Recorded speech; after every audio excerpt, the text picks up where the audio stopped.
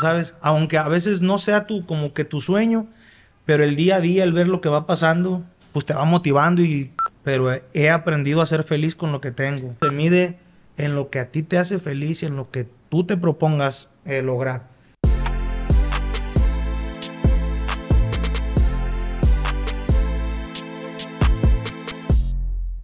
Hola, yo soy Roberto. Yo soy Erwin Núñez. Y, esto es. y esto es Cerebros. El podcast. En un lugar donde vamos a platicar de la lo que pasa en la industria de la música, principalmente porque cada canción cuenta.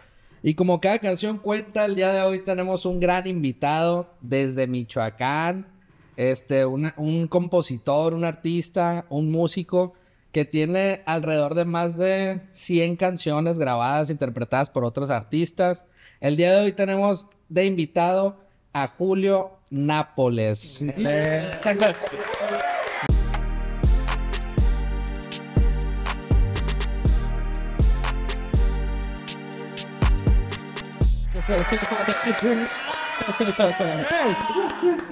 Lo que no saben es que contraté a la porra. Ah, hermano, muchas gracias por la invitación. La neta, me sentí halagado con esa gran presentación. La neta, se siente chido. Gracias por la invitación. Eh, contento de estar aquí con ustedes. Les platicaba antes de empezar a grabar que no soy mucho de este rollo. Por, pues, no sé, como que me hice un poco ermitaño.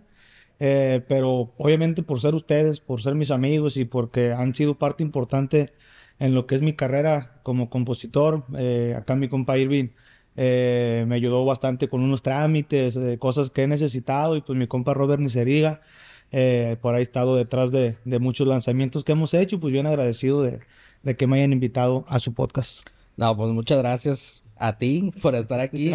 Y yo creo que para entrar en calor y para que la gente pueda conocerte un poco más. Antes que al, para empezar bien. Ok. salud. Salud. Cada pisto cuenta también. Sí. Mira, yo nomás les digo, si me dan dos de estos, se va a poner bueno. hay que dar. Se acepta, el, reto. Oye, pues hay que, hay que platicar un poquito más acerca de ti. ¿Quién es Julio Nápoles? ¿Cuántos años tienes? ¿De dónde eres? Yo soy un loco soñador. Eh, tengo 33 años. Nacido en La Piedad, Michoacán, pero toda mi vida he crecido en Yurécuaro, donde soy eh, muy orgulloso de ser ahí. Es un ranchito pequeño, bonito. Eh, de gente chingona, de gente trabajadora. Y de ahí pues empecé a rodar por el mundo. aquí en, el México de, me fui a vivir a la capital, a Morelia, donde empecé ya con el rollo de la banda. Después me cambié a, Guanajuato un tiempo hasta que me vine a Mazatlán, más o menos como a los 21 años. O sea que ya hace 12 años de eso, de que me vine para Mazatlán. A, la, en la busca del sueño, con el mochilazo, me vine a probar suerte eh, entre las bandas y pues ya después encontré que mi vocación era, era la pluma. O sea, siempre he compuesto desde, que tengo uso de memoria, eh, pero ya lo tomé como una profesión, pues no sé, relativamente poco. Algunos tres años para acá donde le empecé a meter ahora sí que de, de lleno. Y pues aquí andamos, es lo que creo que nos ha ido bien por ese lado. A veces uno quiere eh, a fuerza por el otro lado y, por ahí no es, güey, es por acá. Y gracias a Dios, nomás nos movimos poquito y fluyó la cosa. Bendito Dios, estos últimos tres años de, mi carrera, pues nos ha ido muy bien y bien contentos porque hay canciones que, ya se han quedado y que como compositor es lo más importante, ¿no? Que, te conozcan por una canción y pues ahí estamos todavía en la búsqueda de, de que sigan siendo más en la lista.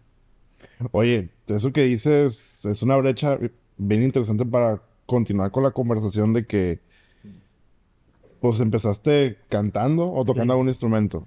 Eh, mi carrera la empecé de morrito con mis papás, tenían un grupo ellos versátil allá en el rancho y desde morro, desde los 9, 10 años ya empezaba a tocar ahí las percusiones, después mi jefe tocaba la batería, se lastimó un pie y me cambió la batería. En realidad yo era baterista y ya pues por el paso del tiempo y por las necesidades pues empezaba a agarrar que el, el bajo, la guitarra, pero no soy muy, como, no soy hábil para hacerlo, pero lo, indispensable lo sé hacer, eh, obviamente pues para acompañarme, para componer. Y ya de ahí, pues obviamente lo que dejaba billete pues era cantar, a mí me gustaba tocar la batería, pero nadie lo pelaba, ese era el chango de allá atrás, ¿verdad? Entonces, eh, realmente fue la necesidad eh, y fue cuando me fui a vivir a Morelia a estudiar porque entré al conservatorio, que nomás pasé por un lado porque la neta no... Buenas noches ahí. Y ahí fue donde empecé a agarrarle rollo a, a, la banda, estaba mucho de moda la banda MS y yo en ese tiempo cantaba muy alto, entonces le daba más o menos el timbre parecido. Y pues hice el casting en una banda de, de, de Morelia y pues de ahí me fui y me gustó, la neta, ya estando al frente en el escenario, pues tocábamos en puros bares y pues tocábamos covers de todo, de, la MS, Arrolladora, Recodo. Pues la gente coreaba las rolas y uno se sentía como si fuera uno el mimoso, el, el así. Y te va llamando la atención. La realidad es de que, que el mundo de la música eh, es muy bonito. Entonces, cuando estaba ahí, yo me di cuenta que eso era lo que yo quería. Entonces, pues, era buscar el sueño.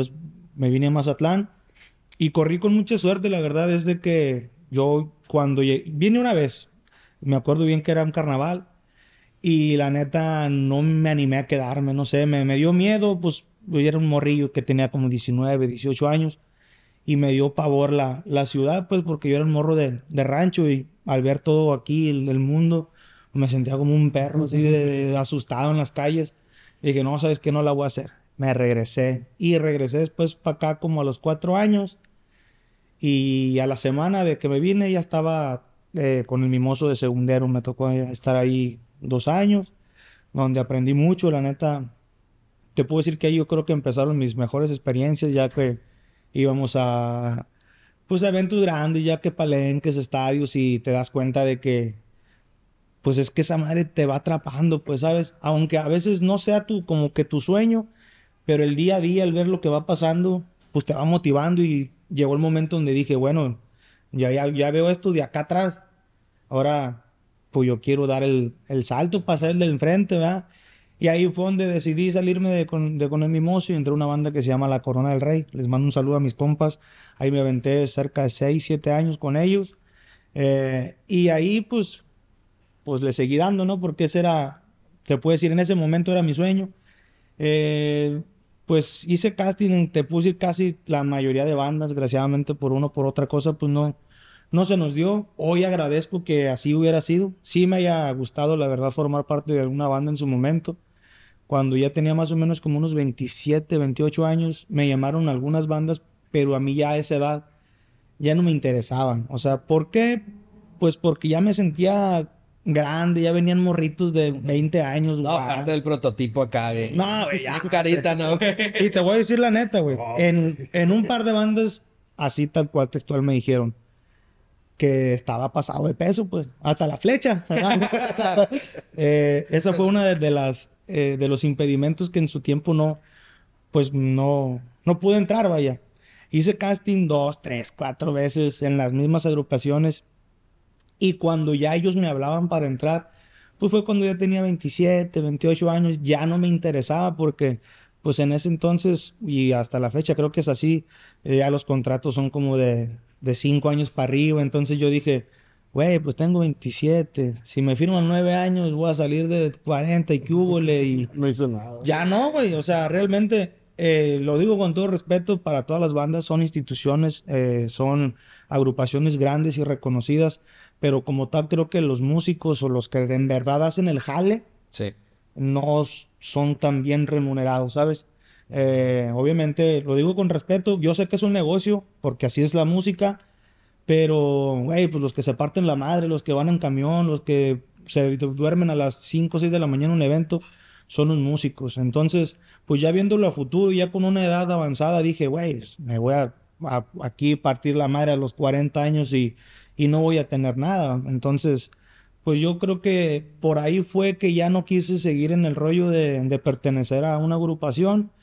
Y después de eso, pues como me empezó a ir bien en el otro lado de la composición, pues, güey, ahí gané lo que no gané en cuatro años de trabajar como un burro diario, ¿verdad? Sí. Entonces, no es, no es solamente, no me refiero solamente a lo económico, me refiero a todo lo que ganas. Satisfacciones. Claro, güey. Oye, Julio, antes de que de continuar, me gustaría como regresar a algo que, que comentaste, que tus padres eran los que tenían una agrupación.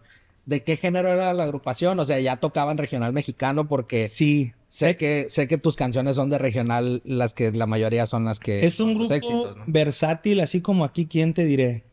Eh, Como los hermanos Cota. o- ándale, algo así, eh, estilo, ¿cómo se llama el, el de aquí de Mazatlán, el más conocido? Así, güey. Ándale, más o menos así de, de ese estilo. Este, mi mamá hasta la fecha sigue cantando, mi papá era músico, eh, mis hermanos también se dedican a la música, cantan. Allá de donde yo soy, eh, de hecho esa, se puede decir que entre comillas, tradición, pues mis papás la iniciaron ahí, es cantar con pistas y entre la gente andar como en la huipa vaya, pero en las fiestas familiares. Y era el, era el único grupo que existía. En el rancho no, en el fíjate que de donde yo soy hay mucha, muchas personas que se dedican a la música. Hasta la fecha sigue habiendo bandas, ahorita que está de moda, pues los grupos con guitarras, norteños, sierreños. ah, no hay tanto nivel como en otros lados, porque pues es un pueblo chico, obviamente eh, son contados, pero hay mucha pasión por la, por la música. Yo siento que si fuera un poquito, si hubiera más educación musical o preparación, eh, saldría mucho talento de mi rancho porque eh, somos pocos pero locos. Entonces, eh, solamente es cuestión de darle más con difusión. la, la escuela Nápoles.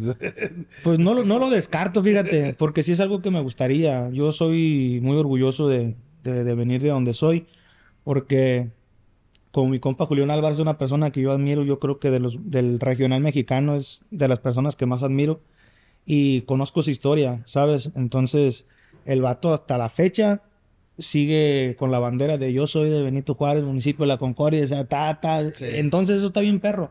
Saber de dónde vienes, eh, saber tus raíces, eh, los pies en la tierra, para que la gente también se sienta orgullosa de ti, porque dicen que nadie es profeta en su tierra, pero cuando sabes hacer las cosas bien y, y tú eres alguien de la que la gente también se pueda sentir orgulloso, Agradecido, de cierta manera. Claro.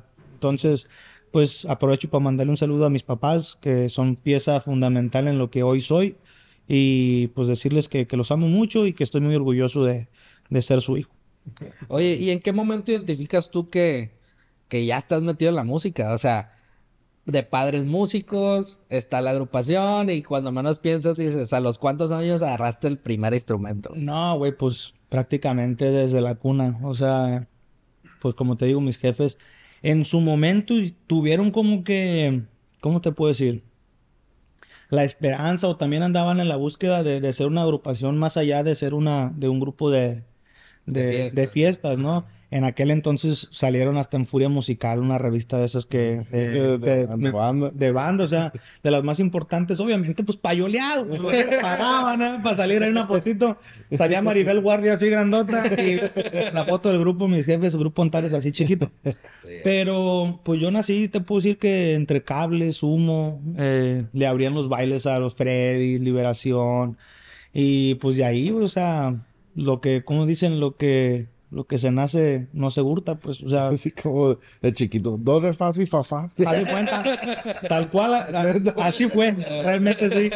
Y, y, pues mi jefa se sorprendía, pues porque ella cantaba, yo desde morrillo la, le- me la empalmaba cantándole la segunda y mi mamá decía, pues cómo, o sea, si nadie lo ha enseñado, cómo es que, que lo trae, ¿no? Y ahorita, eh, pues haz de cuenta que es lo mismo con mi bebé, yo nunca le he dicho nada, yo solamente agarro las baquetas y él todo, para él es batería, él agarra todo apretado. Sí, y, y le pongo videos de batería, y, o sea, y a veces hasta siento que lo hace al, al tiempo y son cosas que digo, güey, pues es la, es la genética. La sangre. Oye, ¿y en qué momento, o sea, ya pasas, empiezas a tocar, le ayudas a tus padres, pero mencionas que estuviste en un conservatorio de música? O sea, ¿qué, qué, qué pasaba por tu mente en ese momento? Eh, ¿Le voy a seguir y voy a ser una realmente, estrella? ¿o? No, fíjate que en ese entonces mi meta más era como lo que acabas de decir, ser un maestro de música, porque yo me visualizaba, ah, termino la escuela y vengo a impartir clases aquí en la secundaria, en bachilleres, así. Después me entró la cosquillita de, de ser músico porque me gustaba Luis Miguel, el Buki. Yo decía, si yo aprendo a tocar música como los grandes, o sea, leer, to- tocar batería leyendo, pues yo puedo a lo mejor ser músico de fulano artista. O sea, esa realmente era mi meta, era lo que yo aspiraba. Pero como te digo, llegué a Morelia, eh, pues no había feria para pues, la chamba, para, para vivir allá, para pagar la renta, para pagar la escuela, para todo eso. Pues empecé a trabajar en, en lo de las bandas, güey. Y ahí fue donde dije, esto es. ¿Por qué? Pues porque era feria en, En corto. en al instante, porque pues también ya, pues todos los placeres mundanos eh, también empiezan a tocar a la puerta. Salud. Entonces, un poquito, un poquito de todo. Creo que fue ahí en el momento donde dije, esto es lo más bello del mundo. Dinero, chicas. ah, no, realmente. No, sí, güey, eh, la verdad. Mira, a luego, luego, ¿no? Entonces fue un poquito de todo. Aparte, pues, güey, tenía 18 años en ese entonces, te quieres comer el mundo a pedazos y eh, realmente fue una motivación donde dije, güey. Y otra porque a veces había raza que me decía, güey, vete a Mazatlán, que están las bandas más perronas y... Y pues eso fue lo que me vino ¿Ya tenías lazos con alguien de Mazatlán antes de... Sí, eh, y a lo mejor con raza que ahorita ya no, Ya no pinta la música? a la- que ya no pintan la música, o que ya no frecuento de alguna manera, o que ya no están en Mazatlán porque eran músicos de fuera. El Ganso fue uno de los que era un armonillero, él tocó con, con Gerardo Ortiz, y, y él me decía, güey, vente para Mazatlán, tienes talento, tienes futuro, y yo, pues me volaba el vato, pues, pero para eso, güey, yo le mandaba mensaje a todo el mundo. Yo era, yo era un groupie, güey. Yo era, cuando Julián, el MS y todo eso se iban para allá, para Morelia, güey. Yo los iba a ver, yo me tomaba fotos hasta con el del staff, güey, con hasta el que el de los cables, yo me ayudaba, tomaba ¿no, eh? Sí, güey. Eh, yo les pedía paro, güey. Pa- Y es más, no te puedo negar, en el Facebook que tengo, güey, tengo fotos con, Con todos, güey, con todos, porque realmente eh, era una cosa que yo soñaba, güey, yo quería venirme para acá, yo quería conocer para acá. Y le mandaba mensajes a, a muchos músicos, unos pues ni me contestaban. Y otros, la neta, güey, hay gente, aquí en Mazatlán es una, una tierra que yo quiero mucho, pero así como hay gente mala, también hay gente buena. Porque hubo, hay raza que no se toma eh, ni el minuto para darte la atención, o que cuando ya estuve aquí, pues también hubo gente que, que pues no es tan chida, pues contigo, ¿verdad? Sí. Porque en aquel entonces era como que más celosón el pedo de que si tú eras de fuera, no, que pinche músico paracaidista, que estos güeyes mm, tocan feo, cantan feo porque son de Guadalajara, son de Michoacán.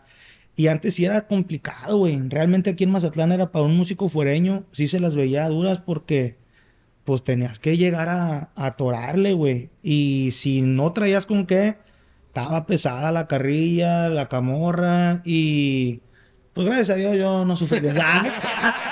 No sufrir. No, güey, la neta sí, sí estuvo, sí estuvo complicado.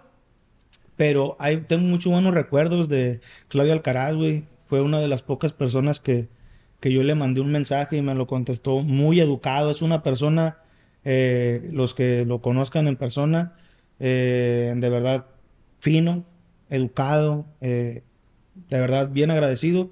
Le mandé un mensaje y haz de cuenta que agarraba el mismo texto y se lo mandaba a todos los cantantes de las Oh, bandas. En aquel entonces, pues la San José de Mesillas, Carnaval, Rancho Viejo, a todo el mundo yo seguía y pues buscándole, ¿no? Y una vez le dije, compa, le mandé un video cantando mío, yo soy fulano de tal, así esa. Y me dice, compa, cantas muy bien, eh, difícilmente allá donde estás te va a caer una oportunidad. Lo que necesitas, güey, es venirte para acá, buscarle, enrolarte y pues venirte a la aventura, güey. Y si quieres, pues acá, si estás acá un día, échame grito.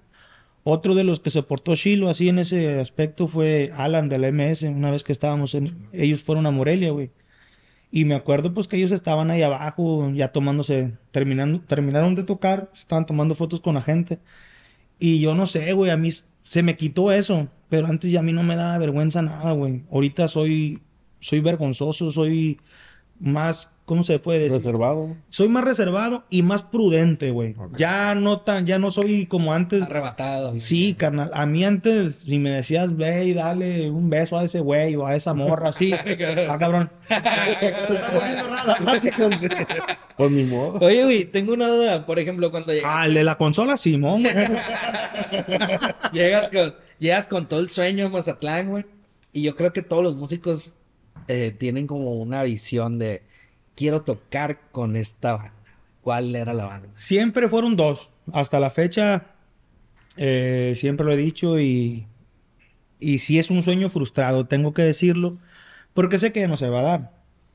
Es muy poco probable, pero la banda de mis sueños siempre fue la MS. O sea, ¿de por qué? Porque mi, mi pasión por cantar banda fue con ellos. Yo sé que para muchos van a decir que el recodo, que la arrolladora. Porque eso. o sea, no, a ti no Es te que- tocó el hype de la, de la banda Exactamente. Para mí, mi respeto son unas agrupaciones grandes, tantos años y éxitos, pero a mí, realmente a mí me gustó por el 24, mi mayor anhelo, el ausente altísimo. O sea, Julián en aquel entonces, la neta, vino a. Así como ahorita hay morros, los peso pluma, los ETC, que, que vienen y revolucionan todo. En aquel entonces, güey, la MS revolucionó la banda poca madre. Entonces, pues ahí fue mi sueño. Siempre quise, la verdad. Otra que siempre me gustó y que hubo el acercamiento, desgraciadamente ahí no se pudo concretar nada, fue con los recoditos. Ya cuando, pues, fui a hacer casting, fui cuando tenía como 24. Y ahí fue donde me dijeron que estaba, que me gustaban un poco los tacos. Eh, y al tiempo eh, también hubo la, la chance y todo, pero ya tenía yo 27 años, entonces pues ya no, ya no estaba de acorde lo que son los recoditos, ya con una, obviamente, pero sí me hubiera gustado, la verdad, es una banda que siempre me gustó. Y déjame platicar la de la del Alan, güey, porque la neta, pues son, son personas, güey, que, que no tienen por qué tener un detalle contigo, y más sin embargo, lo, lo hacen. Y eso creo que hace la diferencia de un artista, güey, a, a otro nivel. A, Una persona. a una persona, exactamente. Eh, imagínate, güey, de tocar ya en ese aquel entonces tocaban hasta dos turnos porque todavía no era la MS, ya iba, ya estaba el Alan y estaba en, eh, en ascenso. Y pues se bajan de tocar, güey, y como te digo, ya no soy igual que antes, pero antes era trabancado, yo me iba y me subía a los camiones y pedía fotos y la chingada. Y me acuerdo que él, antes de subirse, llegué y le dije, carnal, ocupo un paro, me dijo, ocupo un paro. Me dijo, ¿qué pasó, güey? Fíjate la pregunta tan ingenua, güey, y estúpida, porque pues realmente le dije, güey, ¿cómo le puedo hacer para entrar a la MS? Le dije. Y el vato como que medio soltó la risa, güey, porque pensó que lo estaba quizá cotorreando, güey. Y me dice, ¿cómo, güey? Sí, güey, es que yo canto y la verga, y yo, yo quiero entrar a una banda, y pues la neta, esta banda me gusta. Y el vato me dijo, no, carnal, es que así no funciona, me dijo, así no funciona la cosa, ocupas irte para Mazatlán y, y pues a buscar allá eh, la, la- la oportunidad. Y en aquel entonces estaba de moda el, el Nextel, güey, en los radios. Sí. Y me dice, apunta mi, Mi Nextel. apunta mi, ¿cómo se llamaba en aquel entonces? El pin. No, no, no, no me acuerdo, güey. Eh, para la madre, la- la- Pero estaba el de Ferrari. Sí, sí, sí. Sa- Sacó un amarillo acá. Bien tiralija la lana. la- No, y el vato eh, me dijo, apunta mi número, güey. Este, pues ahorita me dijo, yo me acabo de salir de la banda Mr. Lobo. Eh, igual, si te vas para Mazatlán, mándame una alerta, güey, y yo te acomodo ahí igual, y si no tienes dónde llegar, te quedas en mi casa, o si no, vemos dónde, güey, pero si tú quieres ir, güey, tú nomás háblame, y, y pues yo allá te doy la atención. Y yo por dentro dije, ah, este güey me está cabuleando. Le dije, pues ni, yo nomás como para quitarme de, de encima, ¿va? Sí. Y no, güey. Resulta que al tiempo, cuando vine la primera vez, sí le marqué al vato, güey. Le marqué al Nextel y, compa, eh, soy fulano de tal, así se acuerda de mí. Soy Nápoles. Tranquilita. No, y entonces el vato me contesta, güey. Me contesta y, eh, güey, fíjate que anda aquí en Mazatlán. No, Simón, güey, eh, nos vemos en estos días, eh, échame el grito. Total de que ya no le hablé porque re- realmente me dio vergüenza, güey. Pero a lo que voy con esto es de que el vato lo cumplió, güey. O sea, real- otro, otro cualquiera me hubiera dado el pinche número mal, güey. O, o sea, sácate la verga, pinche morro pendejo, o sea, ¿sabes? Sí, sí, sí. Y entonces el vato son, son pocas, o más bien son muchas experiencias que te puedo contar de muchas personas que me ha ido muy bien. Con el Max Peraza, igual, eh, alguien que me ha ayudado muchísimo.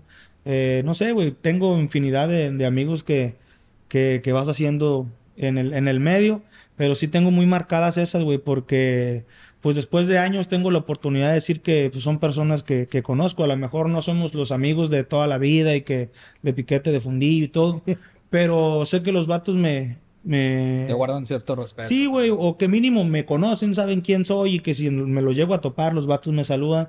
Y pues yo era el fan, güey, o sea, yo era el que iba, le tocaba por una foto y ahorita pues no te digo son mis amigos, pero sí me conocen, güey. Eh, la MS ya también me grabó, otro, otro sueño y que son de las cosas bonitas, güey, que te da esta profesión, es, esta locura de, de, de pelear por tus sueños, güey. Es, a- hace ratito me, me metí a, a los- a las memorias de Facebook y hace, en el 2012, decía una frase así, algo, mira, te la voy a leer, güey, para que veas que no es, que no es piñata, mira, La piñata. para que veas que no es piñata. La compartí ahorita en el estado, güey. Ok. Dice, si uno desea algo con el fondo del corazón, el universo entero conspira para cumplirlo. Tiempo al tiempo, buen día. 6 de diciembre del 2012, güey.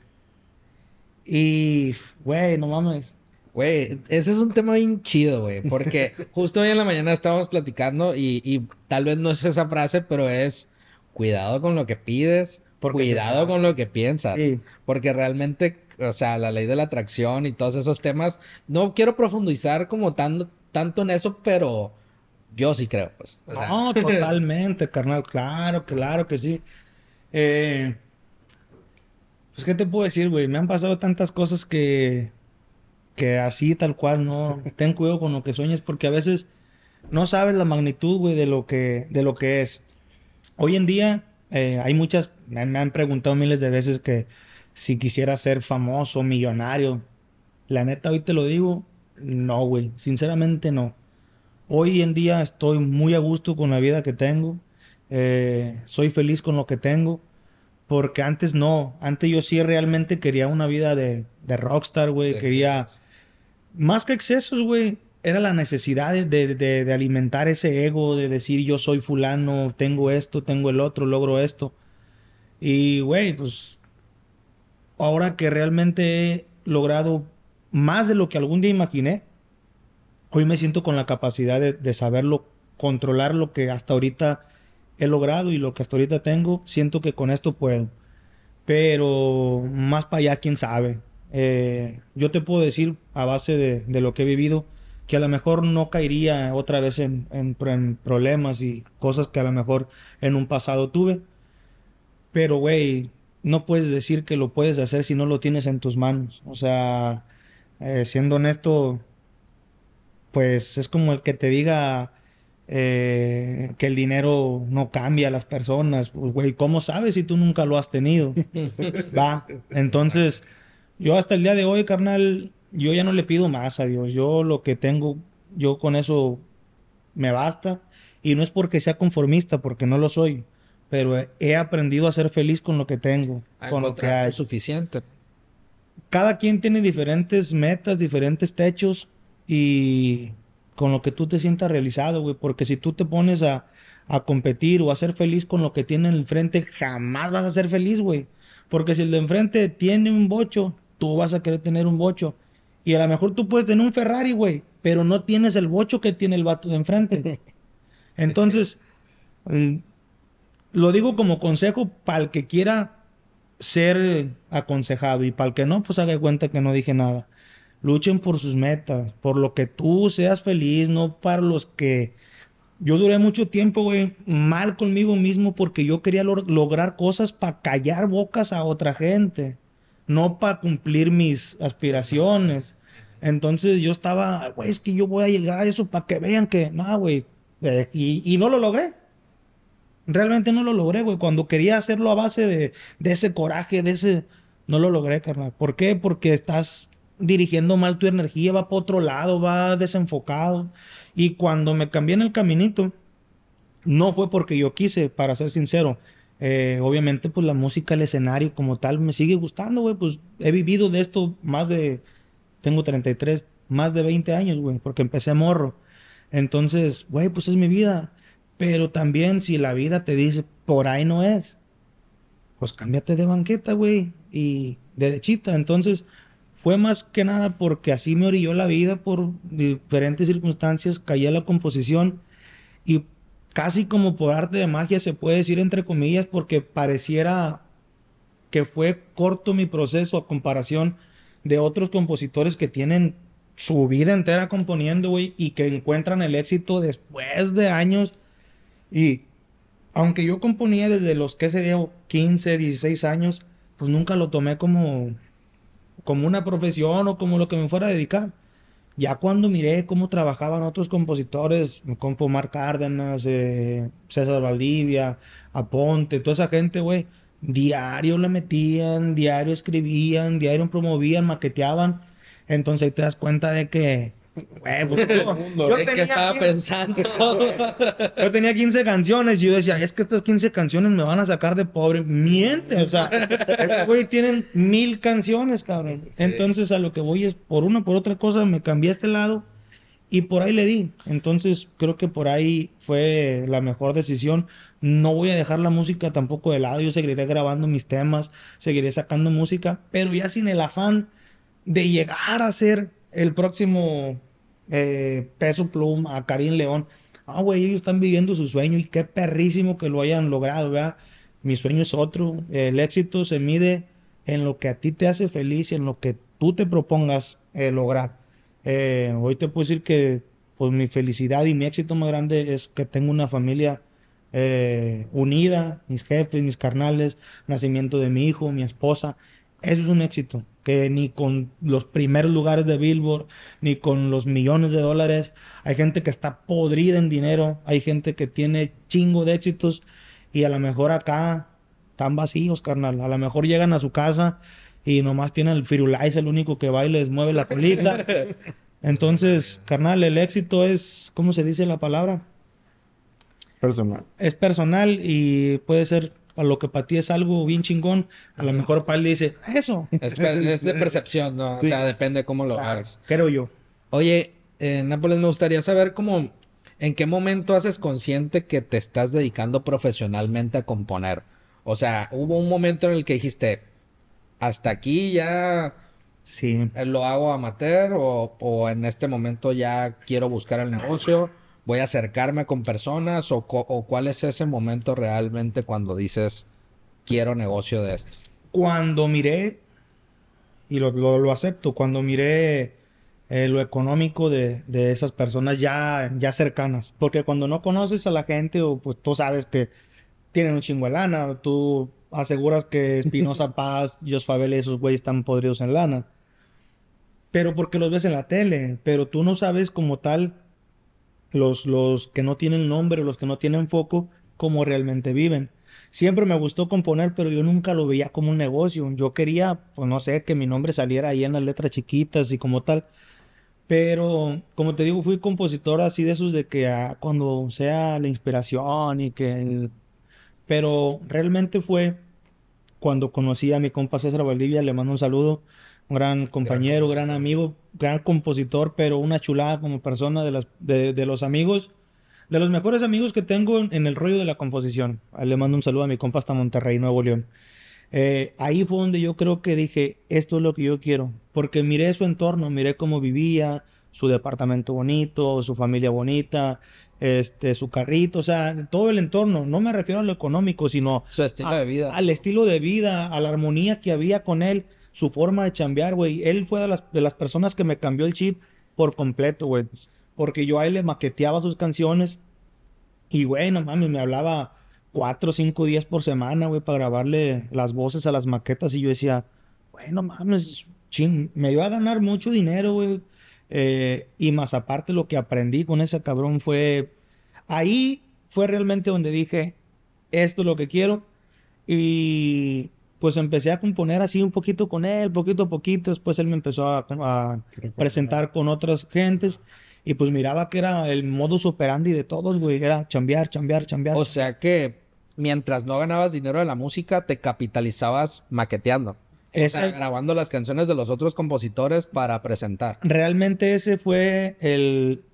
Antes de ser compositor, ese fue mi trabajo donde más gané dinero. Donde, güey, pues yo era socio sucio de una banda donde el único que era socio era de, de inversión, güey, porque de ganancia nunca obtuve ningún peso.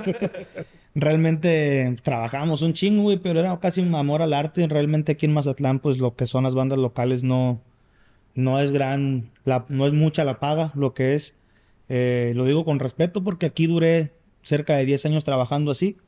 Eh, no me morí de hambre, por supuesto que no, porque siempre chambié, fui una persona que le atoraba todo, yo grababa en los estudios segundas voces, o sea, yo eran mil usos, Pero en cuestión de los compositores, ahí fue donde yo también le agarré más amor, porque ya empezaba a saber el proceso de cómo era eh, el componer la canción, eh, hacer la maqueta, el promoverla. Entonces, ahí, güey, fue cuando a mí ya me empezó a ir bien económicamente. Te puedo decir que a la semana, no te miento, güey, pues había días de hasta 5 mil pesos, güey. O sea, que yo a la semana ya generaba eh, mis 20 de puras maquetas, güey. A la semana, A la 20,000 semana, sí, güey.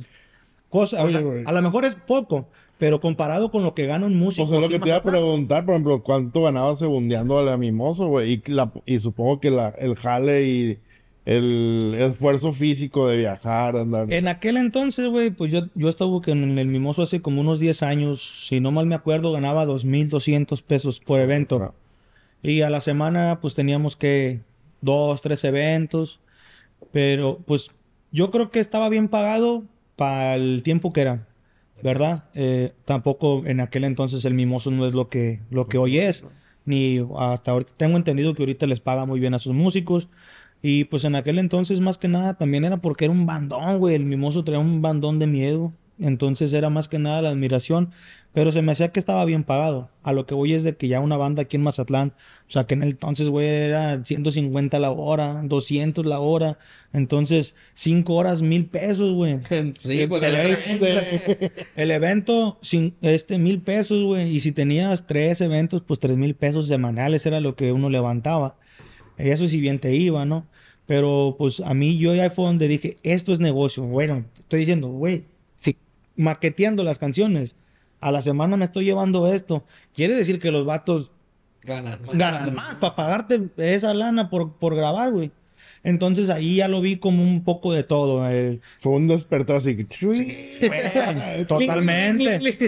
Pero, te, pero te lo, lo intento irme a, a hacer el Nápoles de esa época y decir, güey, pues es renunciar a, Sí, a, los, güey. a, los a los escenarios, güey, al aplauso, güey. Pero y como te irte digo- a guardar a la otra parte. Pero no fue, pues ahora sí que no fue porque yo quise. O sea, realmente así pasó y así tenía que pasar. O sea, Sí. todo lo que te pasa en la vida, lo por más malo que parezca, es porque tiene una función. Y así pasó. Eh, viví un, un suceso trágico, eh, tuve que cambiar de profesión, no porque yo quisiera, es porque pues así, así tocó. Eh, me regresé para el rancho, después el Max me rescata de allá, me trae para acá, para Mazatlán y empiezo a trabajar con él de segundero. Peraza. Ey, Max Peraza, le mando un saludo a mi compa. De hecho, vengo de ahí, de, de su restaurante, eh, comí ahí y me vine para acá. Ok. Este, entonces toqué con él, güey. Él me jala de baterista y el vato, la neta, se puso la camisa machine. Estoy muy agradecido con el vato porque eh, hizo cosas por mí que yo no esperaba. O sea, yo, yo tocando la batería, el vato hacía un silencio y me presentaba como cantante. Él me bautizó como el Nápoles. O sea, Nápoles, pues es mi apellido, ¿no? Pero pues todo el mundo me decía Julio en aquel entonces, Julio, Julio, Julio. Y el vato me dijo, es que tú te vas a llamar el Nápoles y vas a llegar así, así, así, y tú eres, vas a ser compositor de los perros. El vato me trabajó mucho en lo mental porque sabía que yo estaba atravesando un momento difícil, de caidón. Y el vato me, me aventaba para adelante, güey. Y hay videos donde el vato me presenta como cantante y me ponía a cantar, me daba el micrófono y órale, güey, mi público es tuyo, échale. Entonces ahí esa madre me volvió a, a- pues me volvió el alma al cuerpo, carnal, la verdad. Eh, desgraciadamente, pues fue en pandemia. De un encierro para otro. barras, barras. Literal, así fue, güey. Eh, eh, salí en, en enero, entré con Max en febrero, en febrero y pandemia fue en abril, si no más me Marzo nos encerraron. por ahí. Entonces, pues yo duré como, no sé, güey, cuatro o cinco eventos con el Max y tacas, bye. O ya, güey, con, como el chavo del 8 con la- el- voy para atrás para el rancho. Y, pero, güey, fue lo mejor que me pudo haber pasado porque ahí, ahí fue donde encontré ahora sí la vocación, el tiempo necesario. Pues yo ya, ya empezaba a escribir desde poquito más para atrás, ¿verdad? Pero ahora sí que fue 100% 24/7 escribir, escribir, escribir, escribir. Y gracias a Dios, güey, pues nos ha ido muy bien. Eh, Oye, Julio, como cada canción cuenta, ¿cuál fue tu primera canción que te grabaron?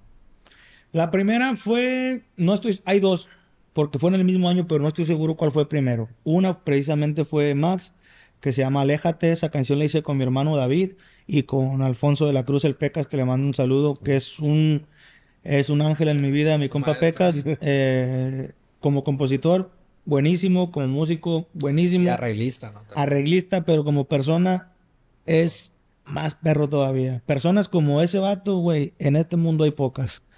Entonces, fíjate lo que son las cosas. Mi primera canción, sí creo que fue esa, Aléjate. Y el tema más reciente que Es con él. es con él. Entonces, Ahorita llegamos de. Eh, eh, mi compa eh, fue la primera canción, se llama Aléjate. Y la, la primera fue esa, o eres tú de los jefes. Y eso fue hace como unos ocho, siete, ocho, nueve años. Por ahí no me acuerdo bien el orden cronológico. Pero esos fueron mis dos temas que, me grabaron. Después de ahí, güey, pasaron años para que me volvieran a grabar. ¿Por qué? Pues porque realmente lo, ten- lo, digo tal cual. Estaban bien zarras mis canciones. O sea, yo... A veces, güey, uno piensa, güey, que te va mal en la vida porque todo el mundo está en contra tuya o porque algo te... o porque les caes mal a la gente, pero nunca ves en retrospectiva. Nunca lo vas a ver, güey. Y entonces, la neta, carnal, para que te vaya bien en la vida, en el negocio, en lo que... todo lo que tú quieras, ve de allá para acá, para adentro. O sea, realmente soy bueno para esto, realmente están chidas. Eh, ahorita ya las, ahorita comparo mis rolas de hace 10 años con las de ahorita, pues la neta digo, pues con qué razón no me grababa, cabrón. Estaba más fea, que un piquete de culo, güey. Pero por algo, por algo tienes que empezar, güey. O sea, Sí, realmente, claro. si no hubiera empezado con esas canciones culeras, güey, a lo mejor, las- a, a- a lo mejor ahorita hubiera empezado a hacerlas igual de culeras. ¿ya? Entonces, ¿qué es lo que tú quieres hacer? Es animarme a hacerlas, empezar a hacerlas como, como Dios me dio a entender, Y vivir sin saber qué es una temática, qué es una estructura, qué es una tondez. Chingue su madre, aviéntate. Gracias a Dios, pues a mí, a mí me abrió los ojos ya en cuestión de aprendizaje para componer cuando yo hago mi propio estudio, que también ese fue inspirado por Valdivia, güey. La, la comparto así porque es muy importante. Eh, la primera vuelta después de, aquel suceso en enero que, salgo, el Valdivia me dijo, carnal, te invito a Monterrey, güey, vente. Me pagó los vuelos, me dio una feria. El vato, una chulada persona, me, me invitó para su casa, güey. Y pues ya empezamos ahí a cotorrearla, escribimos y todo. Y cuando me invita a su casa, güey, en la parte de arriba tenía un estudio. Y ahí fue donde me voló la cabeza, carnal. Ahí te puedo decir que es donde yo empecé a soñar ya en grande, güey. Ahí, en ese momento. Porque cuando entro a su estudio, güey, pues una cabinita pequeña, chica, pero tan bonita, güey. O sea, dije, güey, esto es lo que quiero para mi vida. Es un lugar Volteé así para atrás, güey. Y había una pared blanca llena de, de de reconocimiento. reconocimientos, compositor de, de- de esta Del rola. Güey, ahí es donde dije, esto es lo que quiero para mi vida. Esto, güey, o sea, vale verga el dinero, vale- eso, eso es lo, lo que te llena acá, pues. O sea, eso, y ahí fue donde dije, esto es lo que quiero y lo voy a lograr. Y le dije, carnal, en cuanto llegue al rancho, voy a poner el estudio. No tenía ni un peso, hermano. ni un peso tenía. Pero, güey, fíjate que todo se acomoda y vieras, vieras que en esos días, güey, empezó a caer lana, güey. Me vendí una rola de, de maquetas, pum, pum, pum. Cuando menos pensé, güey, junté para el estudio y el estudio lo armamos con nuestras propias manos. Mi hermano David, mi hermano Miguel, que le entienden a la carpintería y la electricidad. Y lo hicimos, güey. Y bendito Dios, hasta la fecha, desde ahí tenemos para comer. Oye, y mencionar, y creo que es importante, que a lo que sé, no, no he tenido el gusto tal vez de conocerlo en persona, pero que César Valdivia es el padrino de varios compositores, ¿no? O sea, Güey. así como lo hizo contigo, sé que... No quiero quemar, no, no quiero echar a la bronca a- a- o sacarlos a flote. Sí. Porque si en algún momento ellos están aquí, ojalá que ellos lo, lo- lo digan de su viva voz. Pero conozco a muchísimos. Eh, si te digo cinco, son pocos. ¿Por qué? Porque son de las personas, carnal, que tú los conoces así de, de tú a tú. Es una chulada de gente. Y más aparte, positivo, nunca te dice que no, güey. O sea, te echa la mano. A mí te lo digo, güey. Cuando yo pasé ese suceso, hasta la fecha, güey, en mi estudio tengo la, la interfase que él me regaló y sigo grabando con esa. Puedo comprarme otra, pero no, güey. Yo soy de las personas que cree que tienen magia, güey, que, que, que ese tipo de cositas ha hecho de que a mí también me vaya bien, güey, porque ya venía cargada de, de buena fe, de, de buenos sentimientos y hasta la fecha, carnal, sigo trabajando con ella porque me ha ido muy bien, gracias a Dios. Para empezar, antes de ser compositor y empezar a escribir, yo le hice maqueta, güey, te puedo decir que a- a la mayoría de los compositores que andan ahorita sonando. A todos me refiero casi a todos. Si acaso nomás me faltó Espinosa, Palencia y Jos Favela. De ahí en fuera, carnal, hice más de 800 maquetas, güey. O sea, chingo. Oye, pues eres el que le canta a los artistas. Carnal, te lo juro que tú- siempre, eh, güey, ya me llegó otra maqueta. Pensaban que las canciones eran mías, güey. Y Yo le decía, no, güey, esa nomás le hice la maqueta y así. Yo nada más la grabé. Por eso también dejé de lado un poquito esa chamba porque ya me empezaba a perjudicar al momento de yo mandar mis rolas. Las agarraba porque te escuchaba la voz, ¿no? No digo que, que por eso las agarraban, Ajá. pero pues sí vende un poco, ¿sabes? O sea, sí, Sí, la interpretación tenía, tiene mucho que ver con tiene que ver. No digo que las canciones yo las mejoraba, no, pero pues una buena maquillada a un tema. Mira, yo soy de los que piensan que un vergazo bueno, mal cantado, No es vergas. no es vergazo. Pero una canción, eh, un soso, bien cantada, hace la diferencia, ¿verdad? Entonces fue Oye, una parte- interesante eso porque, aunque tenemos muchos amigos compositores, el duelo intérprete-compositor siempre es una... De que si le imprime o no le imprime un valor a- al producto, güey, que mí- tener reconocimiento. para mí siempre va a ser mejor que el que lo hace la cante, creo yo. Porque aunque no sea el mejor cantante, güey, nadie va a saber mejor interpretar una canción que el que la hizo. Así es como... Por el sentimiento que conlleva, ¿no? Es más, así tú le des una receta de los camarones con no sé qué y se la des a él, no le van a salir igual, güey. A que tú, el, el rollo está aquí, está en la mano, y Tiene es lo sentido, mismo. pero a lo mejor le salen mejor. Pero, pues no sé. O diferentes, pero que le puedan gustar a más personas. Sí, sí, sí, claro, pero es, creo que va más allá, ese es el, el sentir, pues ahí yo creo que sí. Hay cancio hay compositores que no son muy buenos cantantes, güey, pero que aún así han acomodado las rolas porque traen ese algo, pues traen, traen alma. Y nomás para concluir lo de las maquetas, güey, ahí fue donde yo creo que fue donde abrí mi oído y todo ese pedo, porque me mandaban todos, güey, todos me mandaban un chingo de compositores perros y ya cuando empecé a ver dije, a la verga, estas están bien perras, estas rolas, estas temáticas, estas tonadas. Y yo decía, no, güey, pues no, yo no traigo nada, güey. pues, por eso".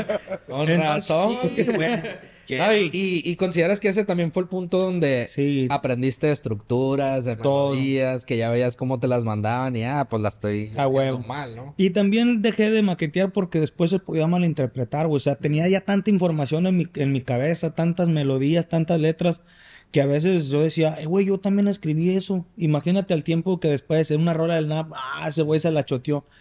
Y, güey, desgraciadamente llega a pasar porque, pues así, güey, las ideas están en, en el aire y el que... no- Si tú no las haces, otro güey las va a hacer por ti. Eso está declaradísimo, güey. Pero, este, pues sí creo que ese fue el punto de inflexión en lo que es la, la composición, güey, cuando empecé a maquetear. Oye, Julio. Y después de esa segunda ronda de, de compositor ya lleno de energía y, y dándote cuenta que a lo mejor ocupabas follarte más, Pon un poconcito. ¿cuál fue la canción que dijo, ay, aprendí? Ay, ya la pegué. Ay, güey. Creo que no ha salido. No, no ha salido. Esa rola es muy personal y la tengo ahí guardada. No sé si algún día la saque porque es muy, muy personal. Pero esta dije, a la verga, es un, este es un rolón. O sea, ya como te digo, cuando aprendes a ser eh, Sí, autocrítico, como introspección. este, ahí fue donde dije, a la verga, con esta sí la, sí me, sí me siento competitivo. Y en el más o menos esa, la primera que dije, a la verga le tengo fe y sé que se va a acomodar, sí lo hice y que esa rola la hice yo. Este, y la tenía guardada, güey. Que fue la que interpretó Karim. Karim León. Pero esa desde que la hice, sabía que en algún momento, no, si, no sabía si iba a ser un éxito, pero sí sabía que iba a ser grabada. Le tenía fe. Y creo que la mayoría de compositores sienten eso cuando hacen una buena rola, ¿saben? O sea, que también puede pasar el, lo contrario, de que la que menos le tienes fe, a veces termina siendo el putazo de tu vida. Pero también pasa, güey, de que cuando estás haciendo una rola y la estás maqueteando y la estás cantando, en caliente sabes, güey, cuando una canción, no sé si vaya a ser un éxito, pero sí sabes que tiene un algo diferente. Y creo que esa fue mi primera rola que dije, esta rola sí trae con qué ser grabada. ¿Y cuál es la canción que te cambió la vida? La que dijiste, empecé el negocio de la composición y ahora sí me cayeron los billetes. Eh, sin duda, pues Tranquilito fue la, la que... La que primero me cayó una feria fue Recio, que fue la que me grabó Karim León. Eh, un el primer correo que, que me grabó Karim. En ese tiempo nos grabó varias canciones en Recio, Si lo hice y qué, Si soy fiel. Así rápido, o sea, una tras otra. Y con esa fue mi primer regalía. No fue un dineral, pero fue la primera vez que dije, ah, güey, ¿Cómo te cambia, güey? ¿Cómo te cambia la perspectiva, güey? Ya que te cae esa feria y ya dices, ay, güey, aquí hay lana, pues. Pues es que como tal, obviamente, pues nunca ha sido el punto número uno en lo que es la composición, pero pues te das cuenta que puedes vivir de eso. Obviamente, pues somos un chingo, güey. O sea, somos, y cada vez somos más, ¿no? Entonces tienes que decir, güey, si quiero vivir de esto, pues también le tengo que meter, también me tengo que poner verga, porque así como yo, hay otros cinco mil cabrones que hacen lo mismo, igual o mejor que yo, pero pues sí te das cuenta que realmente sí es negocio y que sí puedes vivir de esto bien, ¿verdad? Pero, pues güey, la neta sí está, sí está muy complicado, así es que somos eh, afortunados de, de hacer lo que nos gusta y aparte vivir de lo que nos gusta, porque, como te digo, güey, somos tantos en el camino. Y a veces, güey, hay tantos más talentosos que uno, cabrón, con, con un chingo de talento para cantar, para interpretar, para componer, para tocar. Pero desgraciadamente, pues se quedan en el, en el, en el intento de que no aguantan la carrilla, no aguantan la vara, se desesperan y tiran la toalla, güey. Y a veces están a un paso, dos de lograrlo y son unas reatas, güey. Y acá yo no me siento que lo sea. eh, tampoco no me siento el más pendejo, ¿verdad? Pero lo que sí es que he sido terco, güey, aferrado, le he dado, le he dado, le he dado. Y gracias a Dios, de tanto patearle, güey, se abrió la puerta. ¿Y cómo llega tranquilito con Ortiz, no? Eh, no, pues hicimos la rola y a un camarada se le hizo llegar. Este. Y pues de ahí se dio la, la oportunidad tranquilitos. Cuando se grabó, eh, ya había sa- salido un corte, salió el otro, y pues como que sentíamos que ya no iba a pasar nada, porque en aquel entonces, güey, eh, primero era que antes todo el disco, ¿no? Y después empezó la modalidad que, que un... Los sencillos. eh, reggaeton- reggaetoneros, ¿no? Y pues cuando salió el disco, güey, ya había promocionado no sé si dos o tres rolas. Y pues, nada, yo creo que ya nos fuimos con la rola esa. Pero, güey, cuando subió el disco completo de chingazo, pasó lo mismo que con que ahora con la de Julio. O sea, se fue a, a, la primera, güey, la que más eh, escuchaba la raza. Y, güey, pues esa madre, puedo decir que fue mi primera satisfacción grande, pero hasta el día de hoy no es la más, eh, no es la más, no es la más grande por cuestiones ajenas a la canción, porque realmente la rola sí es una canción que, que escribí con el corazón y que, pues que quiero mucho, güey, pero por otros pedos, como que ya le, le, le- le vas perdiendo un poco el amor a la rola. Eh, estoy agradecido, por supuesto, con Gerardo por la oportunidad, porque pues como todo es un sueño de realidad, güey, que te grabe un, un exponente tan grande y que también creo que para él fue una canción importante su carrera. Eh, se volvió a poner otra vez en, el- Sí, en- el mapa. Y eso se siente chingón, o sea, vente a Spotify y hasta la fecha es la, la canción número uno, siendo que el vato tiene chingo de éxitos grandísimos, eh, corridos perros y... Y también fue la que te hizo ganar tu primer premio. Sí, güey. O sea, es- son sentimientos encontrados, carnal, pero yo sé que todo pasa por algo y eh, de alguna manera también es un proceso. Por supuesto, estoy agradecido. eh, mi primer eh, premio ASCAP de las canciones más tocadas en el año. Llegó a primer lugar en Billboard. Fue mi primer, mi primer lugar en Billboard. Mi primer, primer lugar. Entonces, güey, pues sí es una canción muy, muy especial. Pero no, no quisiese que ese fuera el tope. No quiero que ese fuera el techo. como la con la No, pues que a veces eh, hay que probar primero lo salado para disfrutar lo dulce. A huevo, ¿no? Y, y como te digo, estoy agradecido, contento, eh, pero hoy por hoy hay una que realmente siento que es la que, la que me ha llenado, pues entonces, eh, como todo, son de, la, vida es de procesos y las canciones creo que también, a lo mejor en algún momento fue esta por esto, esta por el otro.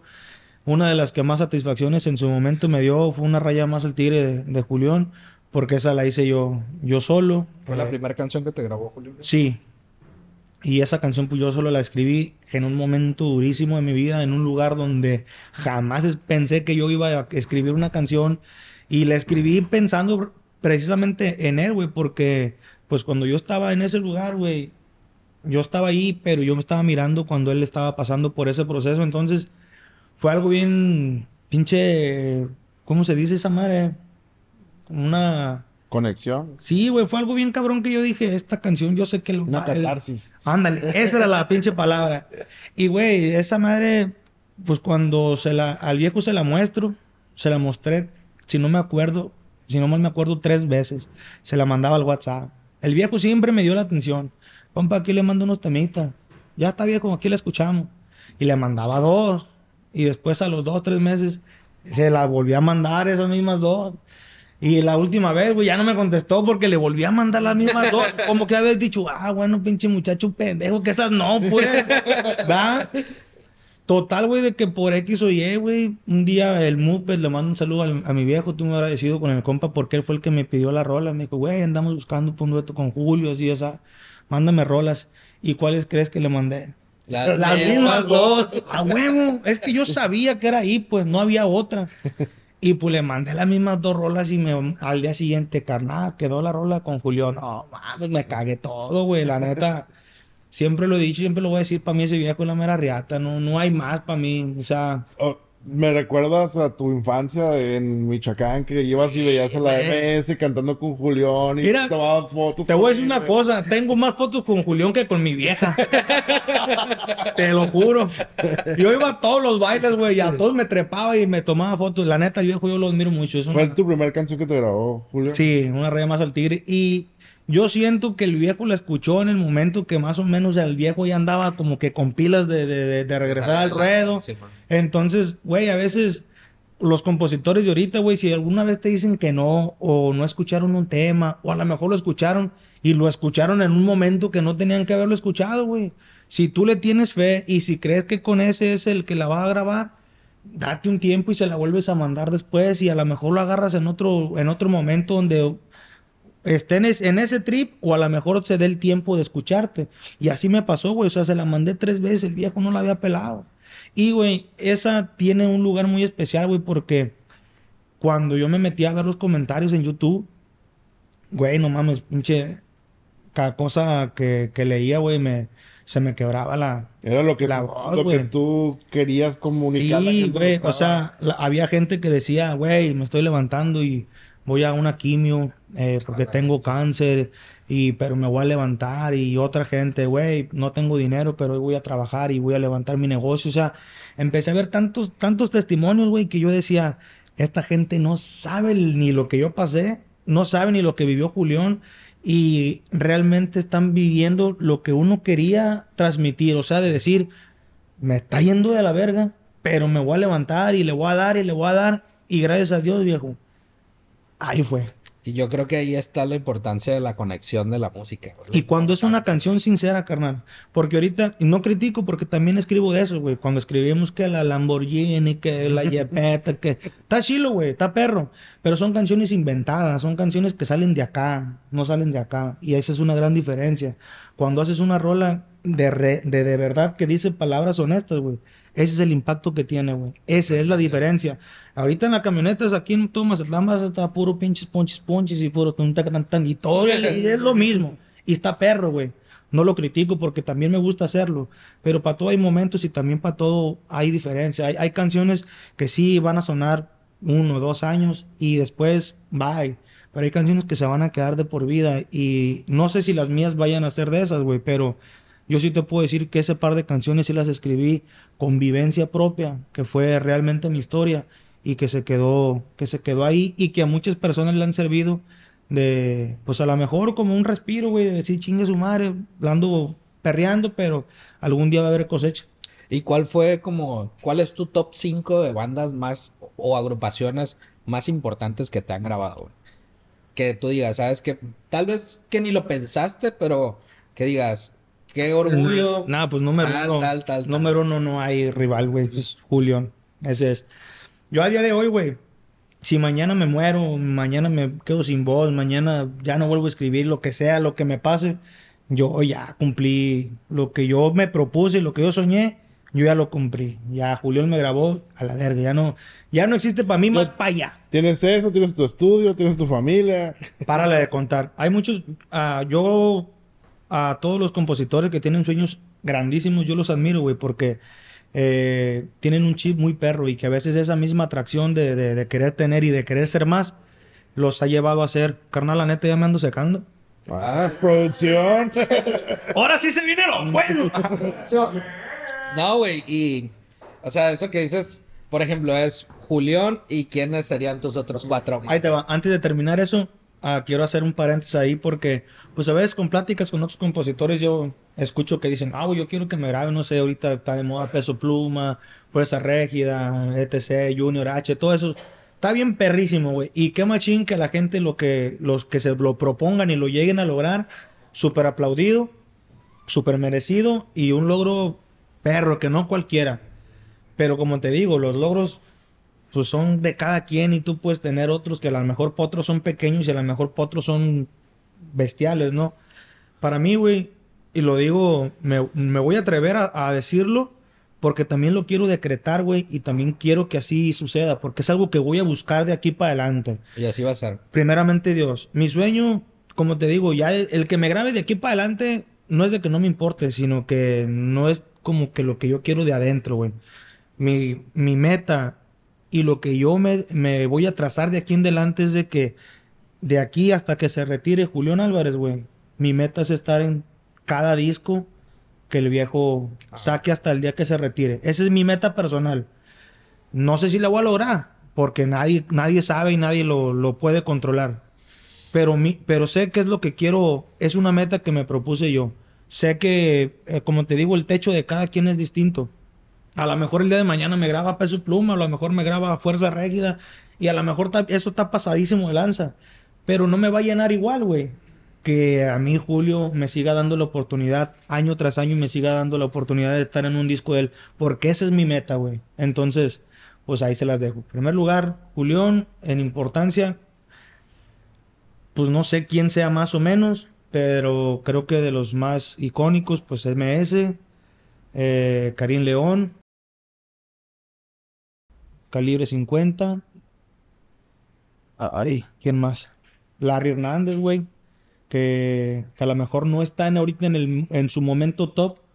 Pero, güey, es un artista que también revolucionó, que... Yo, yo creo que tu, tu lista es muy sentimental, güey. Es lo, es lo que tú disfrutaste o, los, Sí, o güey. los, los que construyeron tu, Mi entorno tu musical. entorno musical, Sí, ¿no? está bien chido, o sea. Sí, carnal. eh, la neta, eso creo que aparte de la paga económica que es importante y que cuando la ves materializada es motivante. Porque, pues, por supuesto, güey, que no le va a gustar que llegues a tu cuenta y haya tantos ceros y, ah, eso, o sea, lo haces con gusto. Pero más que eso, carnal, para mí, güey, la mejor paga es que salgas a la calle, güey, y pase un carro, güey, con tu rola, todo lo que da, güey, esa madre. No, no hay paga para eso, güey, Oye, neta. lo voy a poner mejor. Una pulmonía. Sí, carnal. Que con toda la, la bocina toda reventada. Sí, güey. Pero con los cuatro pisteando y cantando tu canción. Es como. Güey. No, yo creo que es- ese es también el, el termómetro para saber si la rola está pegada, güey. Mira. Si está sonando en las calles es porque la rola... Todos sabemos que esta madre es un negocio y el que, el que más le meta es el que va a estar en primer lugar. Todos lo sabemos. Pero hay algo que no miente nunca, güey. Es la gente, es la Ahí. calle. Ahí te das cuenta. Eh, güey, y con todo respeto para todas las bandas, güey. Pero hay bandas que las ves en el primer lugar, en el Billboard, y en el chart y todo. Pero vete para un concierto y no están llenos los eventos. ¿Por qué? Porque una cosa es el dinero y la payola y otra cosa es lo que realmente lo que la gente consume.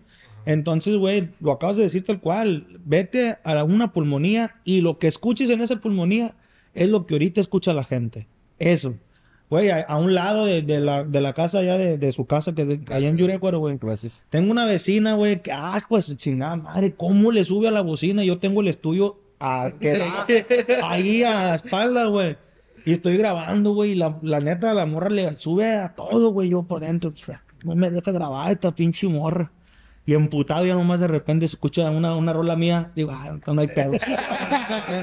Súbele. No hay pedo. Oye, eh, veo un, un gran sentimiento y pu- pues lo acabas de decir. Mi sueño es que Julio me ponga una canción en cada disco. Si se pueden dos, pues mejor. Oye, pero Se corte mejor. Ah, quiero conectar lo que platicábamos un poquito antes de, de- de entrar a grabar. No, no sé cómo meterlo sin, romper el momento mágico. De lo que decías de Julián, o sea, de...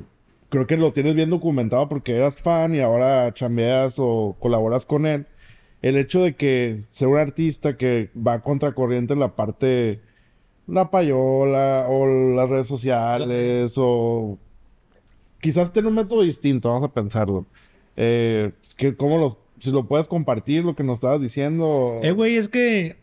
Como tú lo dijiste, hay agrupaciones que así como han subido en putiza, la caída también ha sido de igual manera. Y no es criticar, es simplemente que es evidente.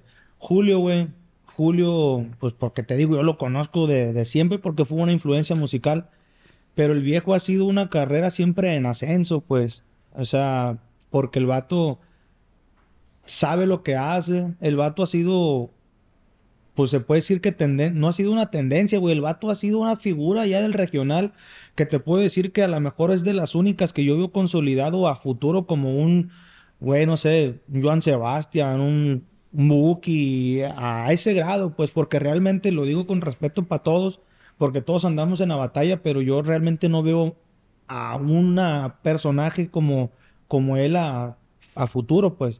O sea, yo, sola, yo creo que es él y a lo mejor uno que otro que, va a prevalecer por, por muchos años. Pero eso es lo que te digo, porque el vato tiene talento, güey, porque es, es talento puro. El, viejo ha, pegado a base de un chingo de trabajo, un chingo de, de, de, esfuerzo, güey. El vato, eso, yo nunca lo veo andando haciendo, haciendo un TikTok, o, o sea, no es, no es tendencia, no es. O se los hace la raza, pues en todo no, pues, caso, no, a huevo. Sí, están volteando acá. pero, pero es que lo. Ve, güey, el vato es él. O sea, no es un personaje. O sea, a lo que me refiero, el vato no trae ni la mancha de anillo, la mancha de joyas, no, no. El viejo que tú ves ahí en las redes, el vato es él. Y no tengo el gusto de conocerlo más a fondo, pero por gente muy allegada a él, sé que el viejo es así, pues. Entonces, como te digo, yo veo a él como una persona que se va a quedar de lo de como leyenda pues del, del, regional y de la música pues entonces. El, el la del, del, regional. La neta sí, oye carnal y mencionabas en tu top 5 a Larry Hernández, güey. Tuviste una canción muy pegada de las 745. Que les caigo mal. Y creo que muy ad hoc tu personalidad, ¿no, güey? Es lo que te digo, pues. Cuando salen las cosas de corazón. Pasa. Nadie las sí. Y esa canción, carnal, te lo juro, se la mandé a varios compositores. Esa la hice con mi compa Chavita Hurtado, viejazo de los buenos. Terrazo, mi tío Chava. Saludos hasta Querétaro. La canción esa le di vuelta con muchos compositores, güey, y pues nadie la pelaba, no la querían. Y eso es lo que te digo, toda canción tiene su, su rumbo, su, su, tiempo y su rumbo. Hasta que se la mandé a él y me dijo, Simón, yo le meto. Y la tenía ahí guardada dos, tres meses y no le daba. Hasta que me la mandó, güey, y dije, ahí, ahí eran. Igual se la mandé a dos, tres artistas y nadie la quería grabar. Y... Otras dos. Ni pedo. Hasta que llegó Larry, güey al que, que le queda lo, eso, ¿verdad? de hecho, tenía mucho tiempo que no era como, como muy visible, güey, y esa canción creo que lo volvió a poner como en la Y fue en el tiempo que también Daray se hizo viral con la de las malas rachas, como que agarró más o menos el mismo trip y agarró la esa viada, la neta, pues fue una canción que, que también sonó mucho. Y pues agradecido con los viejones porque el Darey también eh, son, son de, las, de las personalidades que uno que creció escuchando su música hasta el día de hoy, eh, Adiós Amor, o sea, eh, son personajes, güey, que realmente yo escuchaba de morro y que hoy te graben, güey, pues para eso es, una locura, güey, la neta, el, el vivir esto, güey, como te digo, más allá de lo económico es lo que tú dices, a la verga, güey, no sabes realmente el poder que tienes en la cabeza cuando lo decretas y cuando lo haces, cuando luchas, cuando lo buscas.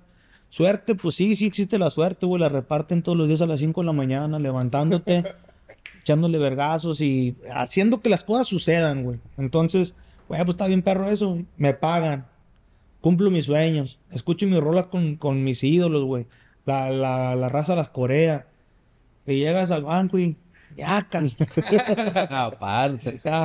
¿Qué te digo? Oye, por ejemplo, por, por abonar a la, a la charla y hacerla más emocionante. A mí me pasó diferente, güey. A mí me pasó todo lo contrario. Ah, caray. Por ejemplo, yo tengo poco que estoy en la industria de la música. Y yo era rockero. Y cuando tuve la oportunidad de platicar con un rockero, eh, pues empezó en, en el regional porque pues soy de aquí, no que no me gustara, me gusta, pero no era como mi música más... La que tú pones en tu carro cuando Sí. te vas a... Ahora la pongo más de esta, ¿no? Ah, bueno. Porque entonces tuve esa oportunidad de que me abriera la puerta una banda de rock famosa de mis tiempos y me rompieron el corazón, güey. O sea, me di cuenta que no entienden cómo es la música hoy, que... Dicen por ahí también, no conozcas a tus ídolos No te vas a- porque te vas a decepcionar. Y también lo tengo bien comprobado. y no voy a decir nombre porque luego se agüita. Pero sí es verdad, güey. Pero adelante. No, no, no, era meter eso para ver qué tenías de ese tema. Sí, carnal, también de... Mira, es que ni todos son buenos, ni todos son malos, ¿verdad? Desgraciadamente sí me ha tocado eh, experiencias de ese tipo. De primero, güey, yo soy una persona muy pasional, carnal. Yo sí me voy de lleno, tanto para allá, tanto para acá, güey. Si eres mi compa, te voy a amar y voy a dar la vida por ti hasta la... Si te vas al hoyo, para allá me voy. Pero si te pasas de verga, en dos patadas te vas, pues. ¿Por qué? Porque así soy. Pero después de, pues, del tiempo y después de las experiencias, te das cuenta que, pues, güey, tú no puedes cambiar el mundo. Al final de cuentas, ellos son así. A mí sí me da un poco de tristeza que este rollo sea más del negocio. La música, desgraciadamente, hoy es así. La amistad, pues, difícilmente, güey, sale un negocio entre, entre amigos, la verdad. No, no quiero generalizar porque no todo es igual.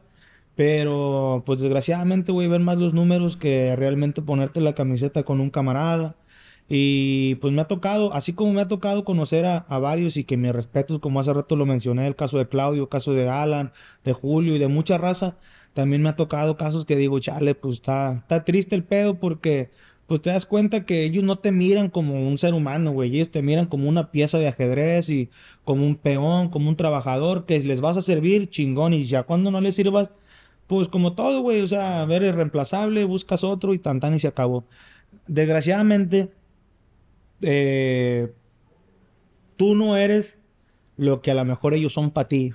Desgraciadamente también esto te lo digo, carnal. Eh, hace rato les comentaba que a mí no me gusta mucho este rollo de los podcasts, güey, porque he visto infinidad de podcasts, güey, y todo el que viene aquí habla el personaje, el que se pone el chalequito, el que acá y allá, y puras mentiras dice, viejo. Puras mentiras, puro para quedar bien. Pero en realidad, carnal, yo los conozco afuera de un podcast y son mentira, güey. No son así. No es eso, no es, es, mentira lo que, lo que vienen y lo que dicen aquí. Es totalmente falso. Y entonces a veces cuando me han invitado, güey, yo me la pienso mucho porque yo no tengo hueso en la lengua, güey. A mí como va y que yo al que tenga que llover vergazo, no, no me importa, güey. Pero al paso de los años me he dado cuenta que tampoco está chido ser así, güey, de, andarte agarrando a putazos con medio mundo, de andar peleando. Ya le he dado la vuelta también. Y tampoco sirve, güey. Ya le di la vuelta a los putazos y de todos te vuelven a chingar. Esa es la realidad de las cosas.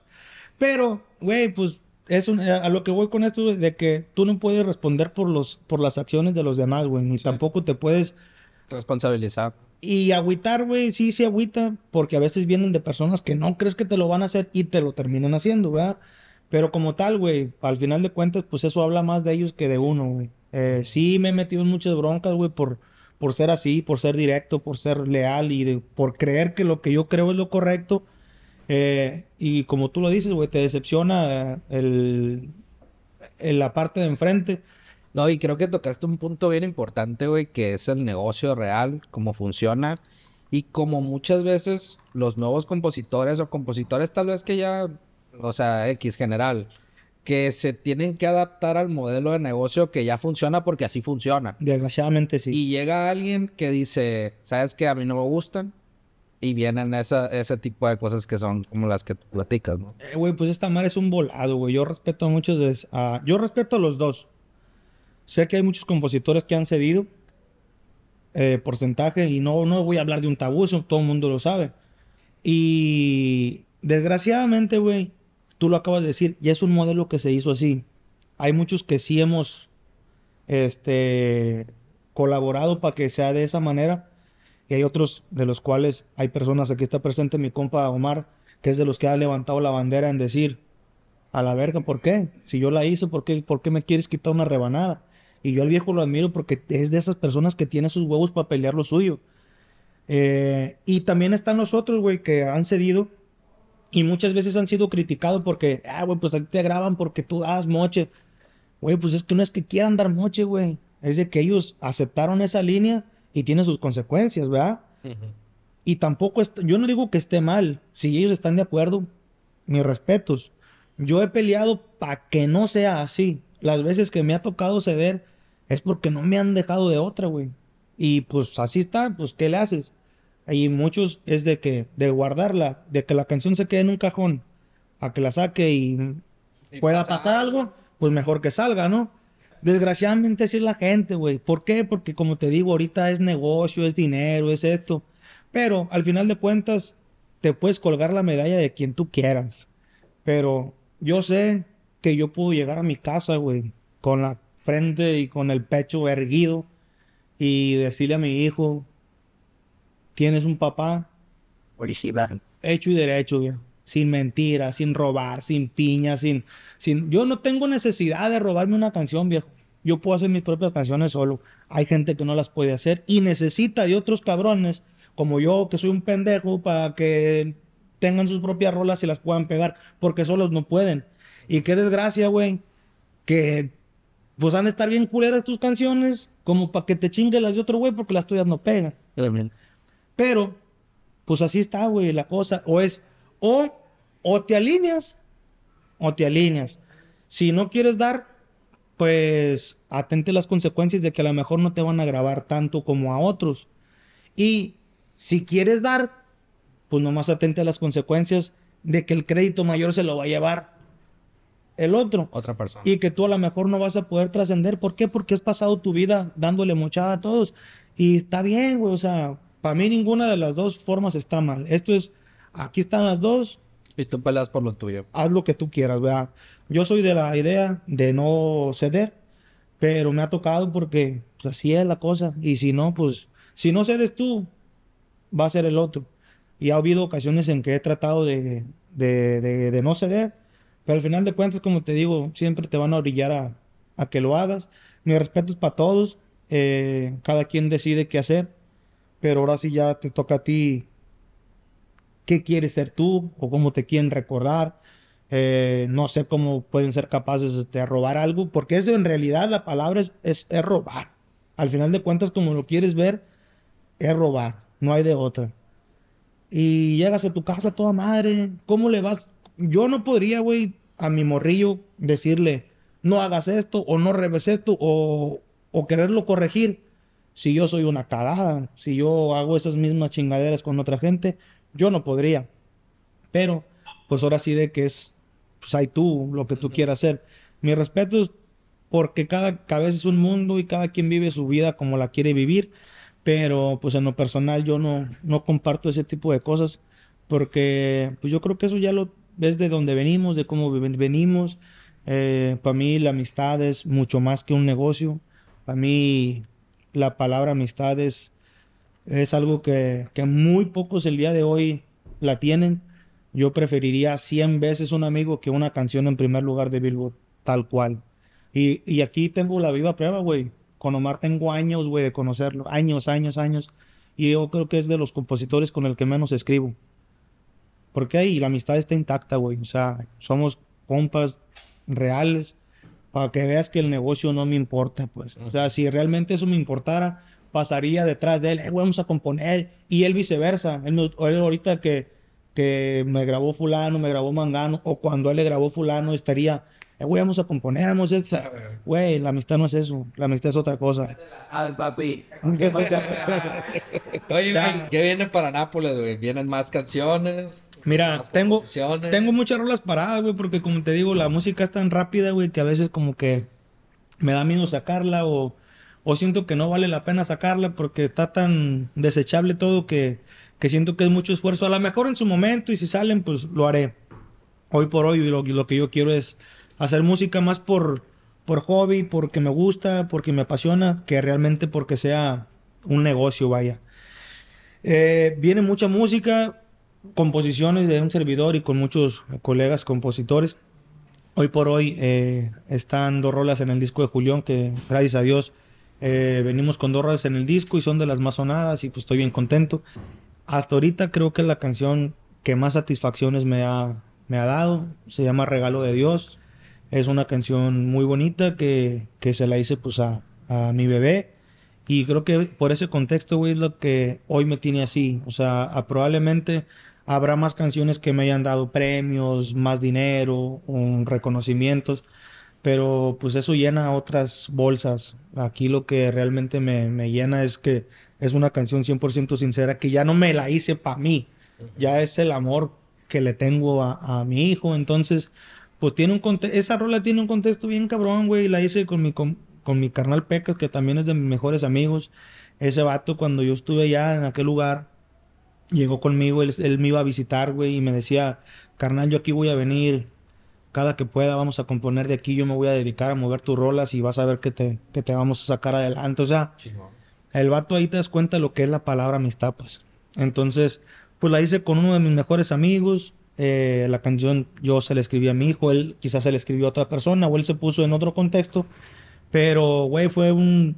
Fue, fue magia, güey. Después nos la grabó Julián, que como lo he repetido, pues es mi ídolo, güey. Y a la semana pasada me tocó verlo en Querétaro, güey, en el Palenque. Y yo iba, güey, al Palenque a grabar una raya más al tigre, porque pues era la canción que yo sé que ya tocaba en los eventos. Y yo iba a grabar la rola. Y que cuando la grabé se equivocó el güey, no, se le fue la letra y la verga. Así de puta, güey. A lo que venía. Sí.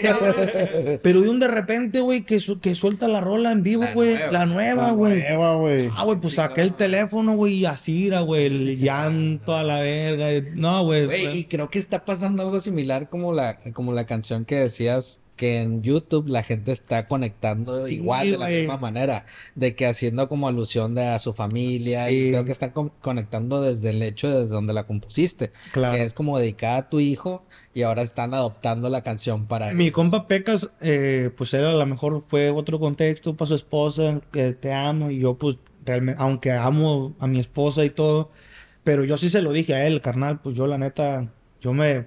Hubo un debate ahí con una frase que decía, cuando te siento entre mis brazos, él decía que abrazara a la muchacha, yo le decía, no, carnal, es que yo cuando llego, mi morrillo se me apelinca y me abraza, y ay, yo por eso le decía, cuando me siento entre tus brazos, y ahí anduvimos en el estira de afloja, y me dijo, te la voy a dar por buena, nos quedamos con esa. Entonces, eh, pues al ver que la, la, la gente, como tú dices, pues la mayoría es de que, ah, esta se la dedico a mi bebé, a mi hijo, pues te sientes que hiciste un buen trabajo porque pues está conectando con lo que realmente quisiste decir. Como te digo, es una canción muy, muy especial. No digo que sea mi techo porque pues siempre puede haber más, pero hoy por hoy eh, es la canción que más satisfacciones me ha dado. Quizá porque también estoy en un momento emocional distinto. Eh, las canciones de antes no es que las ponga en un lugar menor, pero no estaba atravesando el mejor momento de mi vida, entonces a lo mejor aunque fueran tan grandes, aunque fueran primeros lugares, aunque fueran millones de vistas, lo que tú quieras, lo digo tal cual y quizás se escuche feo, pero no los, no los disfruté, carnal. No disfruté ni el primer lugar, no disfruté ni, ni el dinero, no, no disfruté absolutamente nada, güey. Lo digo tal cual y sinceramente, sin afán de, de sentirme, mm, no sé, egocéntrico, pero lo digo porque en realidad no estaba en un buen momento de mi vida. A lo mejor tenía mi cabeza y mis sentimientos enfocados en otras cosas. Aún, aún así, Diosito me mandaba muchas bendiciones, carnal. Sale, sale, o sea, me llenó de cosas y aún así no terminaban de llenarme ese vacío. Y con esta canción de Julián, pues, tal cual ha sido, ha sido otra cosa, pues lo he disfrutado desde que la escribimos hasta que se acomodó y ahora que la fui la, la escuché en vivo, o sea, tal cual, paso por paso lo he disfrutado. Yo creo que, sin temor a equivocarme, ha sido la primera rola que he disfrutado tanto. Oye, Nápoles, este, Cerebros fue creado realmente para las personas creativos, compositores, artistas y la nueva generación que viene. Y creo que estaría cool de tu parte, pues, ¿qué es lo que pudieras aconsejarles? Pues, o sea, desde tu, desde tu inicio de tu carrera, desde tu experiencia, ¿qué es lo que les puedes recomendar para que, para que hagan las cosas o tal vez que no hagan las cosas que, que hiciste mal o qué cosas pueden hacer bien para facilitarles también su, su carrera y que no sea un camino tan largo tal vez como, como, co- como el tuyo, pues que, que tal vez la tuviste que, tuviste que batallar un poquito más. Híjole, es difícil decirte que es un consejo, porque al final de cuentas las decisiones que tomes van a ser las correctas. Eh, aún así, si no es la correcta, va a ser la correcta. ¿Me explico? No sé, no sé, no quiero confundirlos más. A lo que voy es de que si vas por un sueño, hazlo, cabrón. Sea como sea, con las trabas que sea, hazlo. A lo mejor vas por el camino y tienes A o B y vas a escoger la B y es la que la equivocada, ¿verdad? Pero a lo mejor tomando esa equivocada te vas a dar cuenta que ahí no era y más para adelante vas a tomar la otra. Eh, pues está de más decirle, güey, los vicios, mujeres, everybody, todo eso, está chilo, está muy chilo. Pero sinceramente te lo digo ya que soy una persona retirada de todos esos Excesos. No, y hablando en serio, eh, cada persona es un mundo y, y a lo mejor cada persona puede cumplir todo a la vez, ser Te exitoso. voy a quitar responsabilidades porque el beat te puso ahí mucho. cada, cada cabeza es un mundo y. Y puede ser y la- distinto. y lo que tú digas, la gente a huevo va a querer experimentar, ¿no? Pero que si viajáramos en el tiempo y fuéramos a ese baile donde te subiste al camión y le dijiste al Alan y, y te bajas y terminas de platicar con él y de pronto le sales tú, güey, ¿qué le dirías a él, güey? Al Nápoles de, ¿qué? 19 o 18 años. Que siga siendo así, güey. Sí, sí, imprudente, que le dé, güey. Porque hoy yo creo que me fuera un poco mejor si me quitara todas esas, esas inseguridades que con el tiempo he ido agarrando. No sé si inseguridades o el, el hecho de ser Bueno. más reservado, güey, porque hace tiempo era de más, güey, lo, lo imprudente que era. Pero eran las mismas ganas, güey, era el hambre de, de- de ser escuchado, de sobresalir. Y creo que ahí está el secreto, carnal. Que nunca se les pierda esa, esa chispa. Que el hambre de, de que te escuchen, de hacer lo que sea, en el, en el ámbito que sea. No nomás, no, no, no nomás me enfoco en la música y en la composición. Es para, para lo que quieras hacer en tu vida, güey. De, de que no se pierda esa hambre de, de, de comerte el mundo, güey, de ser tú. Obviamente, pues está de más que yo les dé un consejo, güey, porque al final de cuentas tus decisiones van a ser a donde te van a, a llegar. Obviamente, pues sí podría aconsejarte es de que te enfoques, que hagas las cosas bien, porque automáticamente cuando tú empiezas a mejorar como ser humano, güey, todo tu entorno va cambiando. Pareciera que es un chiste, güey, o pareciera que es algo totalmente repetitivo, güey, pero con una tuerca que ajustes, güey, tú no sabes todo lo que se mueve a tu entorno, delante de ti. Lo digo porque dejé de fumar, dejé de tomar, dejé de hacer un chingo de pendejadas que hacía. Y te lo juro, güey, que pareciera como si fuera por eso que me está yendo bien. Pero en realidad es porque esas pequeñas cosas van haciendo un hábito bueno en tu vida. eh, que te puedo decir, güey, pasaba horas y horas valiendo riata en la casa, viendo televisión sin hacer nada. En cambio, te pones las pilas a hacer algo. No vas a ser el mejor de la noche a la mañana, pero por algo poniendo el primer piedrita, vas y vas y vas. Y obviamente rodeate de gente chingona, rodeate de gente que tenga la misma visión que tú, rodeate de gente que quiera cumplir sueños. Eh, porque así como hay gente chingona y puede ser chingón también si te rodeas de de pendejos, vas para lo mismo. Entonces es, pues nunca rendirse, ir por la suya, creer en uno mismo. eh, y eso, güey, cambiar tu entorno, porque pues hay, hay que buscar la excelencia, pero como ser humano, güey, ya de ahí parte todo. Cuando tú ya entiendes esa parte, lo demás se da solito, güey, porque hasta en la Biblia dice que haz las cosas bien y lo demás viene por añadidura. Oye, y como cada canción cuenta, si hoy alguien te descubrió y es la primera vez que sabe de ti, ¿con qué canción quisieras que te descubrieran?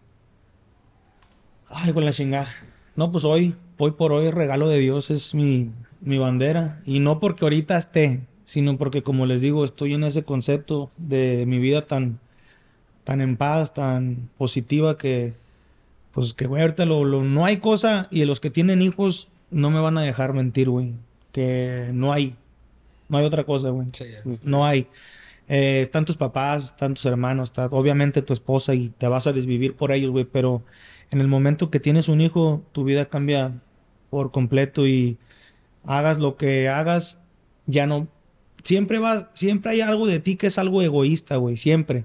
Quieres tener un carro, quieres tener una casa, quieres tener X, lo que ya hemos hablado de todos los vicios y todo, pero siempre porque quieres para ti, para hacerlo, para presumirlo, para yo soy fulano de tal. Pero cuando te llega un hijo, güey, te cambia todo porque ahí todo lo que vas a hacer ya no es para ti. Es para, para él. Para él. Entonces hoy por hoy es la canción que, que me gustaría que escucharan. Obviamente pues hay canciones especiales, por supuesto, Una raya más al tigre, Tranquilito, que, que me han dado mucho, pero sin duda regalo de Dios es la que hoy me define como ser humano. Pues muchísimas gracias, Nápoles, por, por estar con nosotros. Qué bueno que le cortaron aquí. mira, mira, mira. Muchísimas gracias por, por acompañarnos, por estar con nosotros, por, por esta plática de amigos, güey. Creo que eso es lo más importante, que eso tú lo mencionabas, de que hay personas que van al, a un podcast y se ponen una máscara y es como ya saben hasta lo que van a responder. Claro. Y creo que aquí también queda claro que nosotros también así es como somos y así es como platicamos. Tal Sí, vez hermano. cuando vienes a- y traes un nuevo lanzamiento o ese tipo de cosas, güey. Entonces, pues agradecido por, es- por, por estar aquí, porque, porque viniste, güey.